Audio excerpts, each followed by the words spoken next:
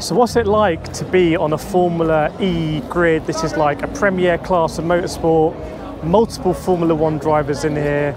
Drivers like Nyck de Vries have gone from Formula E to do really well in Formula One, so we know that the standard of the driver is absolutely insane, and we're about to go on the grid. And also, what I want to do in this video is just give you the experience of what it's like to do a grid walk. You've probably seen Martin Brundle do all those people in Formula One. I've got to show you my little badges here. Thank you. Sorry, your pass. Sorry, your pass. and we're going through. So I've got my microphone on. We've got John Eric Vergne here coming through for Penske. He might be a driver that really fancies himself. Got all the Penske people going. How you doing? Good? Oh, good, you? Yeah, not too bad. Um, so yeah, and this is it. We're on the grid now. How awesome is this? Thank you so much, everyone who's liked, subscribed, watched, and everything as well. It's very, very, very cool to be here, and I want to make sure that I'm going to get everything that you want to say. Oh, we got. Let's see. Oh, again? Somewhat a big, big name on the grid here. It's Mr. Gamer Muscle. Yeah. And I was just saying, how awesome is it to be on a grid like this at a premier level of motorsport? It's, it's nice to be this close to cars, but I'm rather worried of accidentally tripping over and breaking some uh, aerodynamic components. Yes. So I'm What's- being careful. We're going to watch out for a did not start. Right, I will catch up to you later. We're going to see the grid. So let's go near the front of the grid. And I want to show you the cars up close. Here's a man, Mitchy, Hi. very fast driver. He's been setting lightning times in the sim. I've been seeing. Yeah. Formula I'm Fast trying. I'm trying. Any thoughts about the race, like the track? Is it pretty much going to be dry? Do you think now because it was a very wet qualifying? It was a very crap qualifying. So you see some pedals over there, right? So because Yes. of the nature of the track, it's Yeah. being like concrete blocks. Yeah. The drying is completely different at every spot. Yeah. So there might be some wet patches. Yeah. But as soon as those cars go over with a couple of times, Yeah. it's going to be dry. Okay. I think it's going to be a tricky one. Cars are going up the inside, locking up, and everything. Yeah, stuff like that. All right. I'll see you later. Awesome. Right, let's keep going and um, see who else we can find on the grid. Here we go with the Andretti car, looking very, very, very, very, very nice. In the red, these are the Gen 3 machines. So the first season of Gen 3, uh, bigger batteries, um, uh, potential top speed of 200 miles an hour, but the big is is the tyres because the Hankook tyres potentially so amazing OT up, up close and personal. No tyre warmers as well in Formula E. So these these these um, are going to go out at ambient temperature, just like you would on your road car. Can see the rear diffuser here at the back of the Formula cars, where you don't get as much of a uh, obvious view of the floor, but you still have all this stuff going on on the rear diffuser to give all that downforce from the back. The wing as well, no DRS um, uh, system there like we have in Formula One and this is the Jaguar Formula E car doing very, very, very well this season. And we'll try and go around the outside. It's a very, very busy grid. I should probably hold it more this way.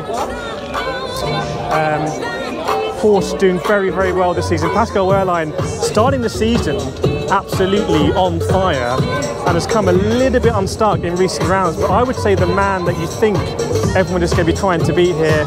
And just amazing being up close and seeing how small these Formula E cars are. I mean, on an F1 grid, you just would not be able to get this close. I mean, this is literally it. In one frame, this close, you can see the whole car, which is absolutely insane. We're going to keep going down to the front of the grid. I hope you can hear me. It's very, very, very noisy. Might actually have to put my... Ah, somewhere I've lost my sunglasses. I really like those sunglasses. Damn it. I'll have to buy some new ones. Okay, so that is a real downer. Okay, let's keep going at the front here. And we've got the Envision cars, which were really the story for today. In this particular round, Envision putting it one and two on the grid. Absolutely insane. Great stuff. A little bit of a awkward situation to be in as a team principal because you have your cars going head to head in qualifying. In the final, you probably don't really care who wins. But there we go. Here we go. We've got driver 61 himself, Scott Mansell, taking a very close look here at the car and making our way near to the front of the grid. You can see, sorry, it, it was Cupras who uh, locked out. So if you're a Cupra fan, then um, that was a great thing, not the Envision cars. And you can see here again, no rear brakes on a Formula E car, which is very, very, very interesting. Um, and being speculation, some of the sort of lockups we've seen might have been due to the uh, sort of brake-by-wire system they have on the back, which means in the wet conditions as well, very difficult to sort of feel your way into a braking zone. Going to keep trying to go through here and get through to the front of the pole sitter in the Cupra. I've been told not to do it. Can I go this way? Going through here. Okay, so we can go through. Can't go through, can go through. And this is here is the Cupra pole position car. How much does it mean in Formula E? Well, it's questionable. Probably not as much as it means in Formula One, just because there are so many overtakes in Formula E. 195 overtakes in the Formula E race yesterday at Berlin, which is absolutely insane when you think you can go to Monaco, something like Formula One, and not have any overtakes. This, by the way, is right at the front of the grid. This is the look down, if I put it high, the rundown. Let me know what you think, by the way. What would you do if you were on a grid like this? What would you not do? And how on earth have I lost lost my sunglasses? How is it possible? We've got the fans here. Already great place to sit. The sun's out now. We've got a big screen over there as well. We're probably somewhere there. Pit on the other side. And yes, there is a gantry. We might try and get a little bit closer to the uh, safety car, the Porsche Taycan. Just want to go around here and see if we can get a little bit closer um, to the safety car. I think they, they saved the Porsche safety car. Interesting livery. We know we like liveries in our community, and the livery on this car is one that represents, I think, colours from all of the main teams. So that's what's going on with the Porsche safety car, and that's great. But obviously, we have all of the prototypes. We can see as well. It's going to be 40 laps, is what they're saying. And here's a man who knows a lot about racing, Mr. Scott Mansell from Driver 61. What are you thinking in terms of the weather? Because some seems to be bone dry, but some patches still have water. So I don't know how it's going to be in the race. This surface is really unusual because it's got big stones in there and it's Yeah. basically concrete. Yeah. Seems like, as you were telling me earlier, some blocks are just dry. Because this is the way it's laid out. It's in, it's in blocks of concrete. Yeah. Different to a normal race circuit. Yeah.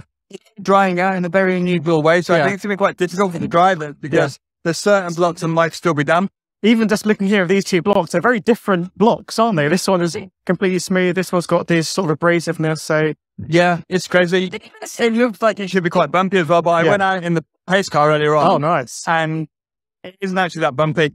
Uh, but the grip is inconsistent, so it's quite difficult. Any predictions for the race, or just anything can happen?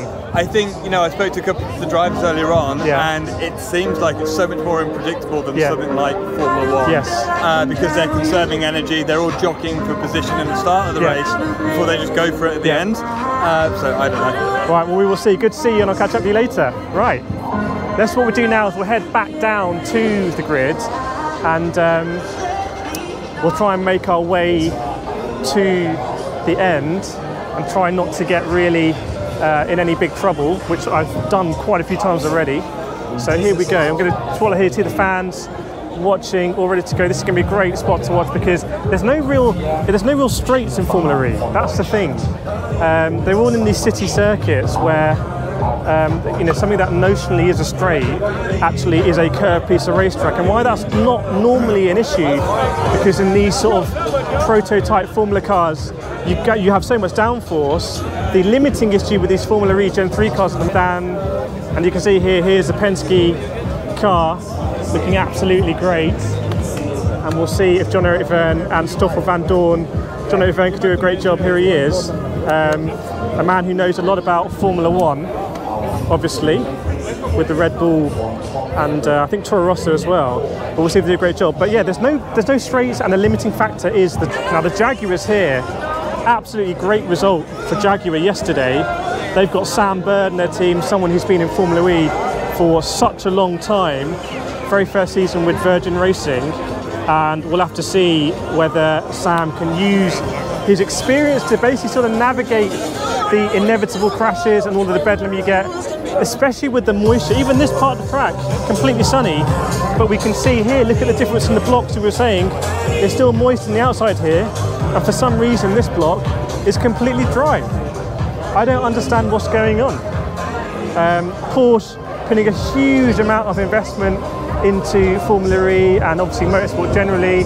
They're not a team that just turn up. They're a team that want to win, and Pascal Wehrlein is a driver that can definitely do that for them. So we will see if that happens. Let's move our way a bit further down the grid and see if we can see some of the teams that have sort of not managed to make it up to where they would have liked to be. Penske here, I was able to speak with Oliver Turvey earlier, who's actually one of the most experienced drivers in Formula E. Doesn't have a seat this season, but is a, a reserve driver for Penske and also a advisor.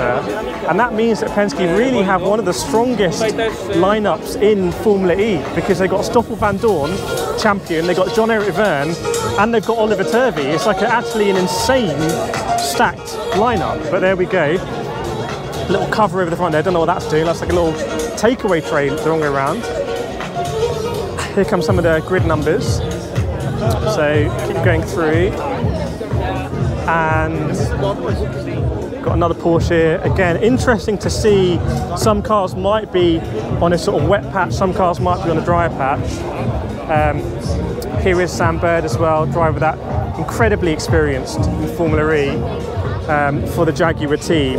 Uh, someone that we really, really, really hope um, can just sort of get the results that he deserves. He's been very, very, very unlucky on many occasions, but Jaguar looking really strong yesterday. And uh, you know, we'll hope that they can do something from the front. Jaguar Tata car. so going forwards here, got the Mahindra. And uh, I think Lucas di Grassi here, someone who just knows so much about Formula E, someone who was instrumental in the actual creation of the championship as well. Uh, probably one of the most technically adept drivers. Drove for I think Virgin in Formula One, and then was was yeah one of the first to move actually across to Formula E, which was a very very very big thing to do. You can see him there for the Mahindra. Now we're going to McLaren. McLaren, a very interesting team because Mercedes were a championship winning Formula E team and then now unfortunately I think we lost the end of that grid walk because of the battery in the camera or the overheating or something but what an incredible experience um, to be on the grid all flooding back now to see the start of the race. Thank you so much everyone who's supporting the channel. I massively massively massively appreciate you. I'm going to be doing more grid walks with Formula E so let me know in the comments what you want to see and we'll make sure that we do that next time. But yeah now it's time for the race. Thank you so much. That's what it's like to be on the grid of a Formula E race